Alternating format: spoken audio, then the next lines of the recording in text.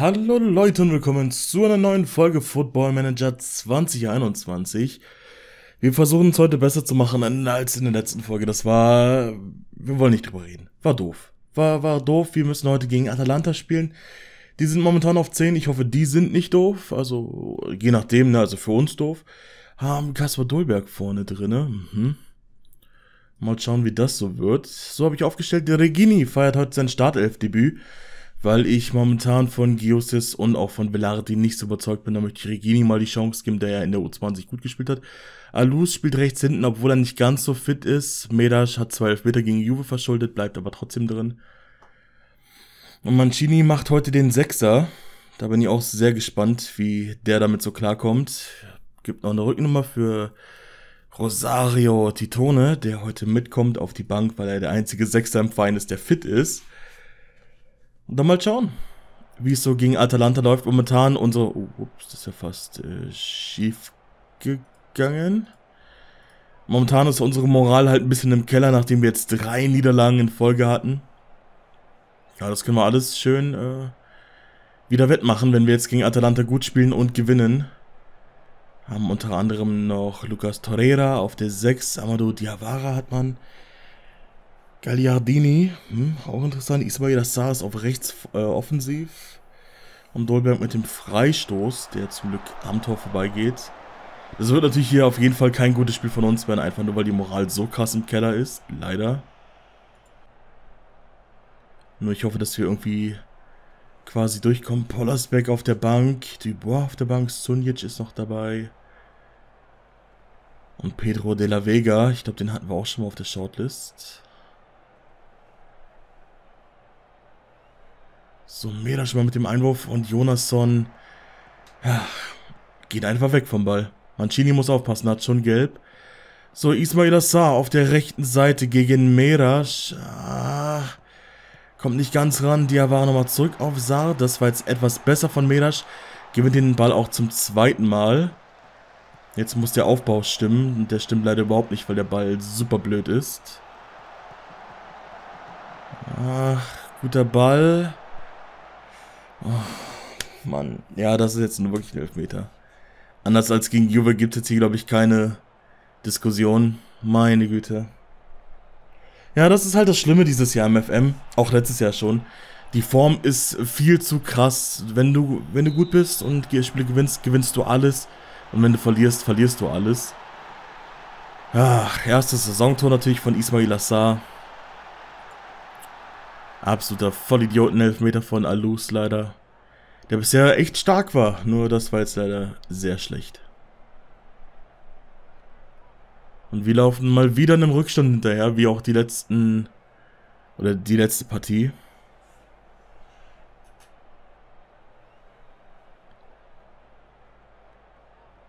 Atalanta, ja. Momentan leider komplett in Kontrolle. Jungs, was ist das? Das ist kein Fußball. Das ist einfach kein Fußball. Jonasson geht, Nicoli kommt rein. Unsere einzige Änderung zur Halbzeit. Hat auch gleich richtig gute Körpersprache, der Nicoli. Ängstlich. GG. So, Alus, Einwurf auf Chilimenski, der kommt zum Glück an. Ja, Ranocchia ist eng da, Regini auf Chilimenski. Buena Casa und dann haben wir das Glück, dass der Ball durchgeht. Chilimenski mit dem 1 zu 1. Hat der Keeper nicht mitgerechnet. Ich auch nicht. Ich glaube gar keiner auf dem Feld.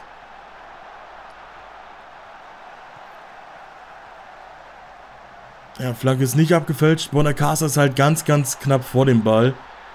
Deswegen denkt Kanesecki wahrscheinlich, dass der Kollege Bonacasa mit dem Kopf rangeht. Hat aber auch gar keine Anstalten gemacht, überhaupt mit dem Kopf ranzugehen. Torreiras Freistoß ist sehr gefährlich und Taricone entschärft diesen Kullerball von Luperto, dem Innenverteidiger von Atalanta Bergamo.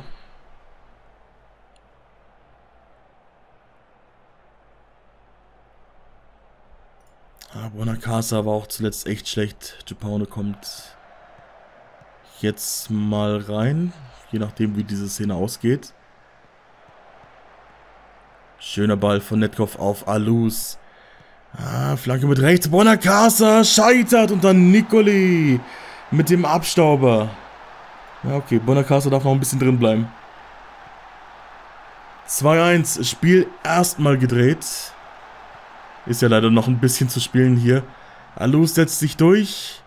Macht durch diesen guten Ball eigentlich auch den Fehler, der zum Elfmeter führte, wieder wett.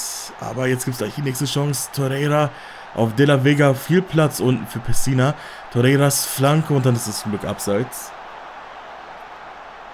Der ist Gagliardini zu unserem Glück zu früh losgelaufen. Alles richtig. Hatten, glaube ich, auch hier schon sehr gut gesehen. Ah, ich habe auf den falschen geachtet, aber der war trotzdem im Abseits. Holding hatte ich erst im Blick. 68 Minuten sind um. Jetzt ein 3-1 würde Atalanta endgültig besiegen, denke ich. Aber wird schwierig. Netkov und Bürz wissen nicht so ganz, wohin. Mancini leider auch nicht. Jetzt vielleicht mal... Ja, nee, nee. Das war nix.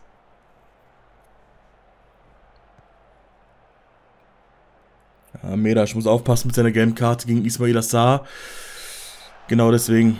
Genau deswegen. Und jetzt gibt's schon wieder Gelb-Rot. Ach, Mera Schnee, ey. Ja, da geht dann Regini raus. Und wir gehen auf ein 4-4-1. Meine Güte, Jungs. Ach Gott, ey.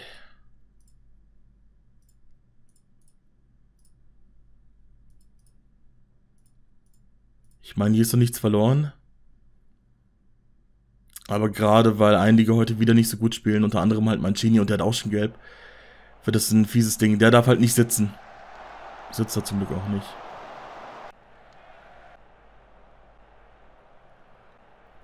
Ja, schwierig. Also Mancini müsste raus und Alus müsste raus. Wir haben aber nur noch einen Wechsel.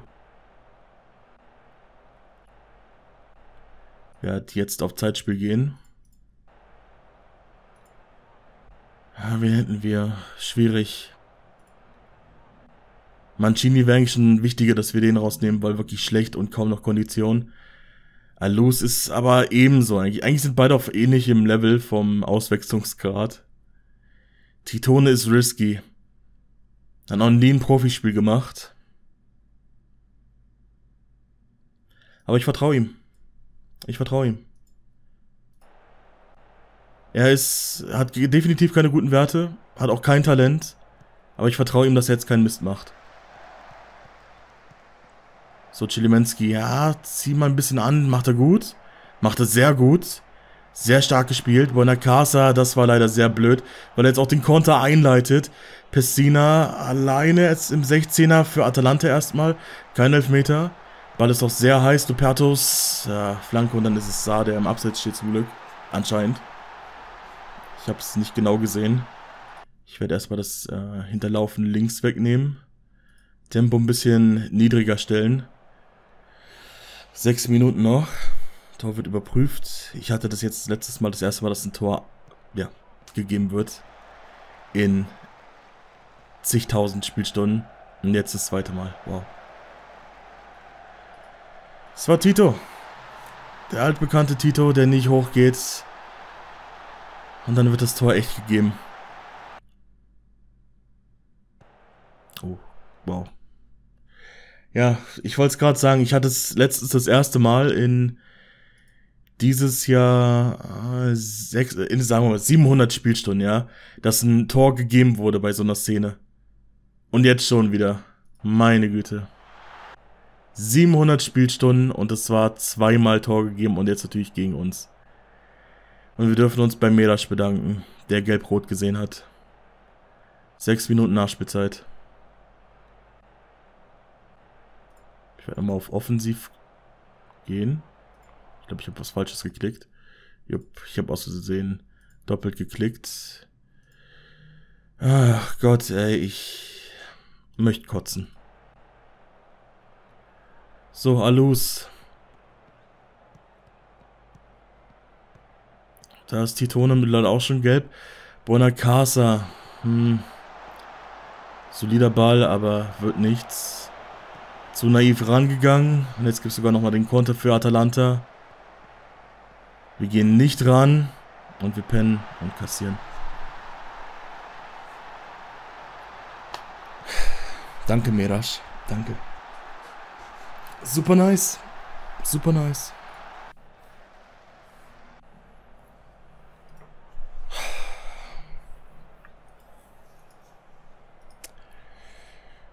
Ist das eine dumme Mannschaft aktuell leider. 96. Ey, wie viele Gegentore wir halt in der letzten Sekunde kassieren. Ist halt absolut traurig und lächerlich aktuell. Vier Niederlagen in Folge. Wow. So, können wir wieder ein bisschen Gehalt einsparen, weil die Jungs momentan wirklich allesamt extrem schlecht spielen. Es ist unfassbar. Ich jetzt wissen müssen nach der roten Karte. Normalerweise ist eine rote Karte im FM die letzten Jahre kein Problem, weil die KI wirklich sehr schlecht ist in Sachen Überzahlsituationen. Aber durch die aktuelle Form und dann natürlich die schlechte Moral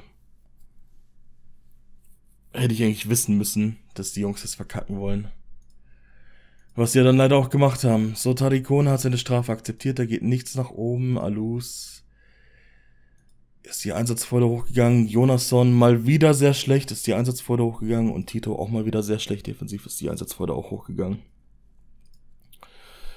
Genial. Ja, wir haben jetzt erstmal Länderspielpause. Ich mache mal einen Cut und wir sehen uns im Bologna-Spiel wieder. So, da sind wir wieder. Und hoffentlich läuft es jetzt etwas besser gegen Bologna.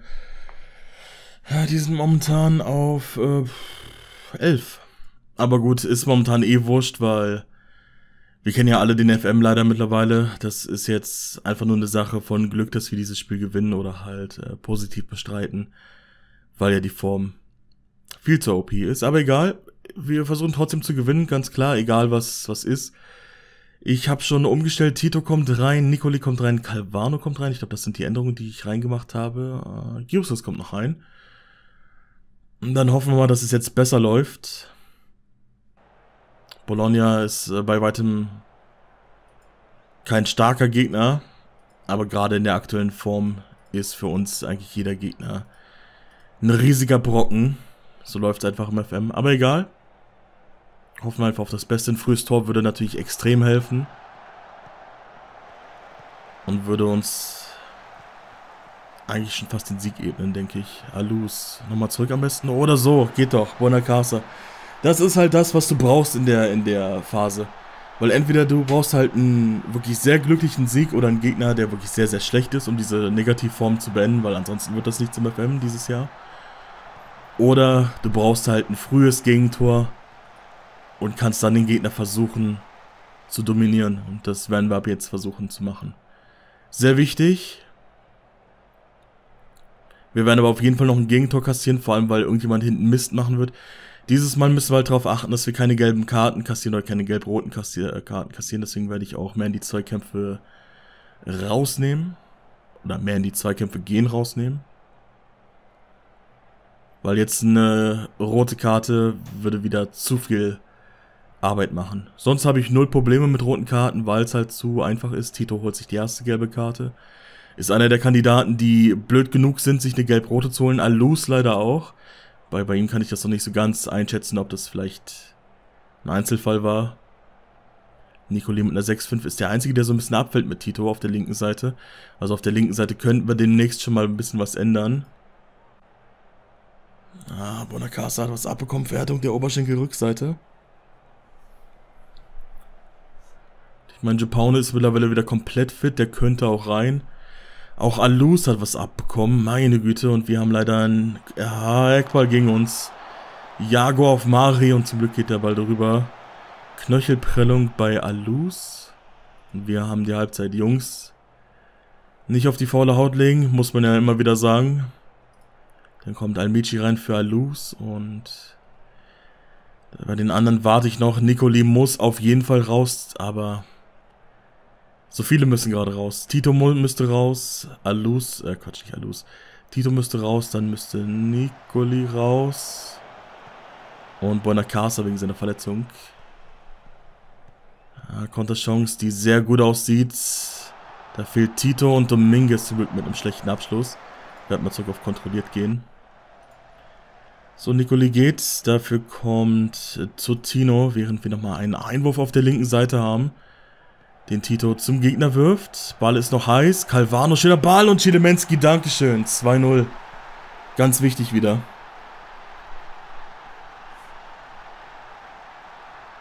Einwurf war mal wieder super Mist. Ball kommt dann irgendwie gefährlicher durch. Calvano dann mit der Übersicht. Keeper sieht schlecht aus, aber beschwere ich mich nicht. Sehr schön. Brauchen aber drei Tore auf jeden Fall, um hier safe zu sein.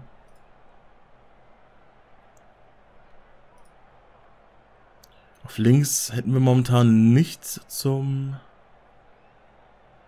Einwechseln, weil Medasch ja... Wow, das war knapp gesperrt ist, glaube ich. Ja, ja. Almici können wir auch nicht reinpacken, weil er schon Alus ersetzt. Also müssen wir eigentlich einfach hoffen, dass Tito sich zusammenreißt, aber die Hoffnung habe ich ehrlich gesagt nicht. Mancini kommt rein auf der Linksverteidigerposition. Für die paar Minuten wird er das können. Hat ja auch sehr ausgeglichene Werte als äh, ZM. Von daher sollte das passen. Generell sieht es gut aus. Ich werde trotzdem nochmal Zeitspiel reinklatschen, damit das hier wirklich safe ist.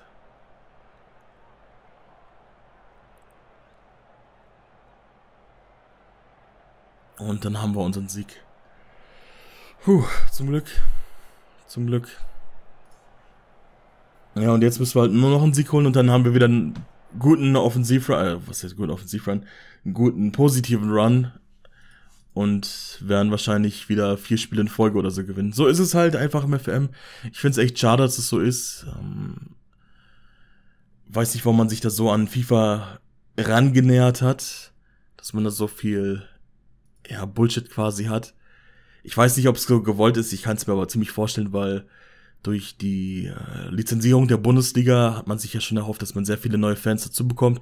Und generell ist die Popularität des FMs ja die letzten Jahre sehr nach oben gegangen, was mich natürlich teilweise freut. Das Problem ist, der FM war noch nie ein Spiel für Casuals und sie gehen in diese Schiene dadurch, dass du halt durch einfachste Sachen eine komplette Saison halt ohne Niederlage bleiben kannst. Ich meine, dass wir da den direkten Durchmarsch geschafft haben aus der dritten Liga ist absoluter Schwachsinn. Sorry, aber ist einfach so. Und äh, dass wir letztes Jahr halt schon fast international gespielt halt nehmen so. Es ist einfach äh, so, wenn sie es halt wollen, dass die Casuals das Spiel gerne machen, dann sollen sie halt einen Light Mode machen oder halt ein Schwierigkeitsgrad für Beginner, aber die Komplexität des FMs, die würde ich gerne behalten und die geht die letzten zwei Jahre schon sehr weg. Weil alleine, dass ich halt eine komplette oder ja doch eine komplette Karriere mit der gleichen Taktik spielen kann, ohne dass da jemand was machen kann und dann ist die Taktik halt ein simples 4-2-3-1, es darf halt so nicht passieren. Passiert aber leider. Und nimmt halt auch viel Spielspaß. Also ich habe trotzdem Spaß am FM, aber es sind, ist leider aus den anderen Gründen. Also es, äh, ich habe super viel Spaß daran, Spieler zu entwickeln, zu sehen, wie die halt krass wären. Aber ich hätte halt auch gerne Spaß daran, neue Taktiken zu kreieren, zu schauen, wie ich halt immer besser werden kann und halt auf, auf Gegner reagiere, die halt auch mal andere Taktiken spielen oder halt andere Spielweisen spielen. Aber es ist halt relativ oft das Gleiche dieses Jahr. Gerade dieses Jahr ist es relativ schlimm, finde ich. Vor allem, wenn du bedenkst, wie oft es halt wirklich vorkommt dieses Jahr, dass dein Gegner einen Schuss aufs Tor hat und der ist natürlich drinne. Das ist halt auch schon wieder so ein FIFA-Ding. Ich weiß nicht warum. Klar passiert es auch ab und zu mal in echt, aber es passiert ja wirklich regelmäßig. Vor allem, wenn du wirklich ein sehr, sehr gutes Team hast und jedes Spiel dominierst, dann hat dein Gegner wirklich meistens einen Schuss aufs Tor und macht ihn rein. Ich weiß nicht, ob das nur bei mir und bei Dave äh, so ist, weil bei uns fällt das, wir hatten gestern erst das Thema, bei uns fällt das halt so krass auf, wie oft das halt passiert. Also es ist wirklich jedes zweite oder dritte Spiel. Und ja, ich weiß nicht warum. Aber ich denke mal wirklich, um halt das Spiel ansprechender für die Casual Gamer zu machen. Was nicht verwerflich ist, für Sports Interactive würde sich das halt lohnen oder für Sega, wenn das Spiel mehr verkauft wird, logischerweise. Aber die dürfen sich halt nicht die Core-Fanbase kaputt machen. Und die Core-Fanbase findet das Spiel halt viel zu einfach, denke ich. Von dem, was man so liest. Und wenn sich das sich schnell ändert, dann werden viele keinen Bock mehr haben. Ich kenne jetzt schon die ersten, die keinen Bock mehr auf den FM haben, einfach weil es zu langweilig ist und zu viele einfache Sachen gibt, die dann den Spielspaß halt beeinträchtigen. Und ich weiß nicht, ob ich, wenn der FM so wie er jetzt ist, nächstes Jahr ist, ob ich dann so drauf Bock hab, wieder so viel zu spielen. Das ist halt das Problem leider. Ich meine, ich habe jetzt 700 Spielstunden in diesem FM. In meinem privaten Save wurden es immer weniger, weil es einfach viel zu einfach war die einzigen oder die Spielstunden, die häufen sich halt wirklich an, weil ich abends immer mit den Brudis im Discord hänge und halt während dem Labern FM mit, äh, im Online-Safe spiele. Wir könnten auch was anderes spielen. Nur FM ist halt chillig. Das ist halt das Problem. Ich meine, ich will mich nicht die ganze Zeit darüber aufregen, dass das Spiel zu einfach und so weiter ist. Ich meine, man könnte sich das auch schwieriger machen, klar. Aber warum muss ich jetzt hier irgendwie krasse Regeln für mich erfinden? damit der FM schwieriger wird, wenn der FM einfach selbst von sich aus schwieriger sein könnte. Das ist halt dann meine Herangehensweise. Klar werde ich wahrscheinlich, äh, was ich ja schon gesagt habe, dieses Jahr noch ein paar andere Taktiken ausprobieren, damit wir nicht dieses OP 4 zu 1 spielen. Nur, ja, warum, ne? Warum muss ich das machen? So, Michi kommt rein für Alus.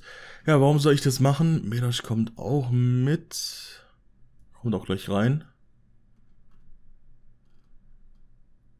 Weil, was ist, wenn ich jetzt halt, ich will halt ein sehr hohes Pressing spielen. Das ist halt meine Fußballphilosophie. Und warum ist das jetzt OP? Ja, weil der FM so ist.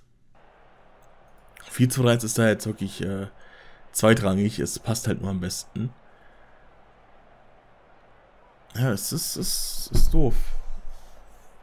Ich hoffe einfach, dass man da nächstes Jahr einen guten Schritt macht in der Gegner-KI. Sehr stark gespielt von Ranaukia und von Bonacasa. Wie gesagt, es macht mir trotzdem Spaß, nur ich weiß nicht, ob das noch so lange so geht, wenn der FM nächstes Jahr genauso ist.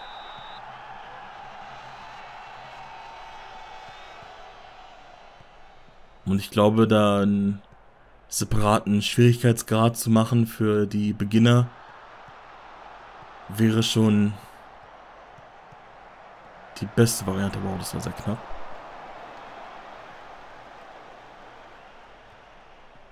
weil die ganze Komplexität von, von sich aus im FM, weil es halt so extrem viele Menüs und so weiter gibt, die kriegst du nicht raus. Die jetzt zu entfernen nur für die Casual Gamer, das wäre absoluter Unsinn und das würde das Spiel wirklich kaputt machen. Wenn sie da jetzt rausnehmen, dass du da und da was nachgucken kannst und irgendwie die Werte verändern würden. Jungs, ihr könnt da auch einfach ruhig mal rangehen, ne? Am besten wäre es wirklich, nehmt die Spieler an die Hand, macht von mir aus äh, den Gegner schwächer oder gibt irgendwie eine Option für, wie klug soll die KI sein. Von, von mir aus 1 bis 10. Aber lasst das dann separat, weil jetzt das Spiel weiter ab, ja, sagen wir mal, dummen für Casual Gamer, das würde das Ende vom FM bedeuten. Weil Casual Gamer sind nicht die Spieler, die sich das Jahr, äh, die sich das Spiel jedes Jahr kaufen und den FM damit quasi am Leben halten. Das sind halt die Spieler, die ja, wie ich 700 Spielstunden haben, die das Spiel sogar auf Steam vorbestellen, obwohl es halt 20 Euro teurer ist als beim Key Reseller. Einfach nur, weil ich weiß, dass ich das für äh, Zeit reinballern werde. Und da müssen sie halt wirklich was machen. Und wie gesagt, es, warum, warum muss ich das Spiel für mich schwieriger machen?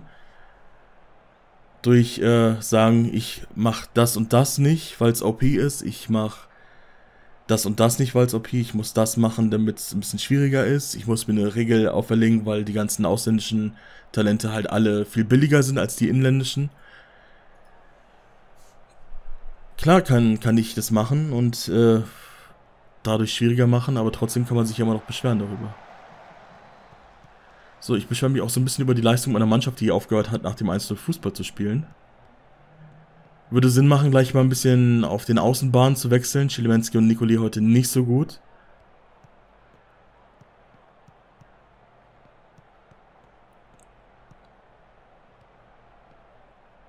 Lukas Mura ist bei Cagliari gar nicht gemerkt. Oh, Glück, weil Medasch nicht rangeht an Mura. Die Flanke ist perfekt und dann ist es die Latte, die uns hilft. So, ich werde mal kurz wechseln, weil das war bisher gar nichts. Dann kommt zu Tino. Rein für Nicoli. Ich würde gerne ein bisschen enger spielen, weil Cagliari äh, breit spielt und ich glaube, die Außenverteidiger werden dadurch auch breit spielen. Medasch mit einer 6-4, Chilemenski 6-5, die müssen sich noch pushen. Ich werde mal Diosis auf einen offensiven Mittelfeldspieler auf Unterstützen machen und dann noch Chilemenski auf Angreifen packen. Damit ich so eine Art ähm, ja, mehr ins 4-3-3 gehe, dass sich Geosis ein bisschen mehr fallen lässt und Chilemenski dabei ein bisschen mehr nach vorne geht. So, Bonacasa. Ah, schwierig von da. Haben sie aber sehr, sehr gut gelöst. So, Chilemenski. Bonacasa ist schon in der Mitte. Chilemenski bleibt erstmal hängen und Geosis sprintet hin und hechtet hin. Jetzt bin ich mal gespannt, ob es den Elfmeter gibt, aber ich glaube schon. Schwierig von den Animationen, die wir haben, zu beurteilen, aber es gibt den Elfmeter. Geosis ist einfach hingehechtet. Und jetzt hat äh, Buenacasa die Chance auf 2 zu 0 zu erhöhen und macht das auch. Sehr schön. Zu dem Zeitpunkt unverdient, finde ich. Der Spielverlauf ging eher in Richtung Cagliari Calcio, aber muss man auch erstmal hinbekommen. Sehr schön. Und das Hechten von Geosis, ey, unglaublich. Merasch 6-3, also bisher überzeugt er nicht. Gut möglich, dass wir dann die nächsten paar Spiele schon Kabianka sehen mal. So wie wir es jetzt schon mit äh, Regini gemacht haben. Chilemenski und Ranocchia. Schöner Ball. Totino bleibt leider hängen. Hätte lieber schießen sollen anstatt passen, aber hinterher ist man immer schlauer. Oben ist viel Platz für Meras. Oh, schade. Aber passt zu seiner Leistung, dass er den dann auch nicht macht.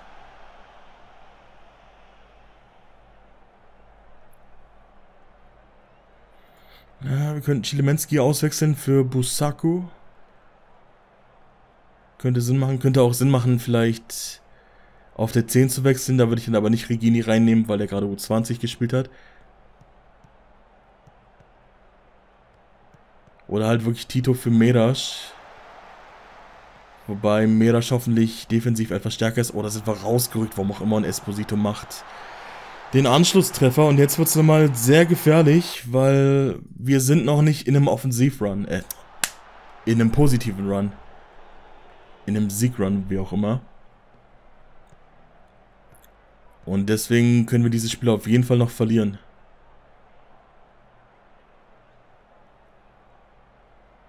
Ja, Lorenzo Tassi hat sich verletzt, aber Cagliari kann immer noch wechseln. So, Zeitspiel ist drin. Wir sind auf kontrolliert zurückgegangen. 4, 2, 3, 1 jetzt bei Cagliari. Ich werde wechseln und werde Velardi reinbringen für Giusis. Meras, ja, schwierig. Almici allerdings auch, beide schlechte Noten. Es gibt sechs Minuten Nachspielzeit. Puh. Nee, ich werde nicht mehr wechseln. Shiri? Shiri? Shiri? Holy shit! Wie lang ging das Spiel jetzt gerade? Wir hatten irgendwie gerade die 99. Minute. Alter. Das war nix, Jungs. Ihr habt gewonnen, aber das war absolut gar nichts. Gut, dass wir es alle annehmen. Wow, wie lang ging denn das Spiel jetzt bitte gerade? Heieiei, Medasch 4 bis 5 Tage mit einer Knieverdrehung draußen. Damit fällt er in der vierten Quali-Runde der Coppa Italia aus, aber das ist nicht so schlimm. Ja gut, haben wir unseren Negativ-Run beendet, sind jetzt hoffentlich auf einem positiven Run, aber ja doch, die nächsten Gegner könnten es hergeben. Mal schauen. Sassuolo ist auf 1, Inter ist auf 2. Inter immer noch ohne Niederlage, das gleiche für Lazio und Milan. Wow. Das ist krass. Und wir müssen mal schauen, wie es so weitergeht in der nächsten Folge. Also Spezia, da sollten wir, glaube ich, weiterkommen, auch wenn wir rotieren werden. Brescia sollten wir besiegen können. Die sind momentan auf 11, das ist solide, aber war Bologna halt auch. Und dann haben wir Empoli, die sind ganz, ganz, ganz, ganz unten mit aktuell nur vier Punkten. Pescara ist auch nicht viel besser, die haben sechs Punkte. Und Chievo Verona ist auf sieben. Also die nächsten fünf Spiele sollten wir eigentlich alle gewinnen. Und jetzt haben wir unseren Run hoffentlich wieder. Die Form wieder, die ja so OP ist im FM dieses Jahr, so wie die letzten zwei Jahre jetzt. Und schauen wir mal. Und hoffentlich geht's dann auch wieder ein bisschen positiver, weil gut, jetzt haben wir halt gewonnen, aber die Spiele waren halt echt nicht äh, schön anzusehen. Ich hoffe, da geht noch mehr. Und so langsam könnten wir uns dann auch schon mal darauf konzentrieren, vielleicht noch was im Winter zu machen. Ich denke da gerade so an einen Rechtsverteidiger, der schon jung ist, der dann Almici ersetzen wird in der nächsten Sommerphase. Aber mal schauen. Ne? Ist noch ein bisschen hin. Ich werde mal ein paar Gedanken machen, was wir so in Sachen Kaderplanung machen können. Sehen uns dann bei der nächsten Folge am Mittwoch wieder. Und dann hoffentlich wieder alles schön, alles positiv, alles toll. Und ohne halt irgendeine blöde Niederlage oder bitte auch keinen Elfmeter, den wir blöd verschulden. Also bis dahin. Tschö.